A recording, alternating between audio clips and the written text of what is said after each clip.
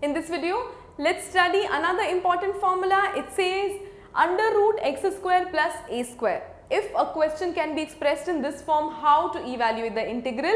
The formula would go as x by 2 under root x square plus a square plus a square by 2 log x plus under root x square plus a square plus c.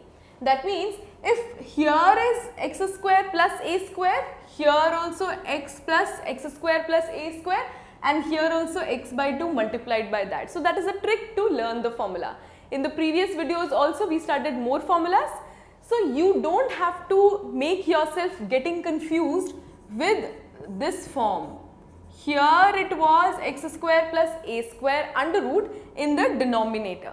That formula is different, this formula is different. So wherever the application of this formula would be there, you will be using the above one and wherever the application of this formula would be there, you know what to use as in the previous videos we saw.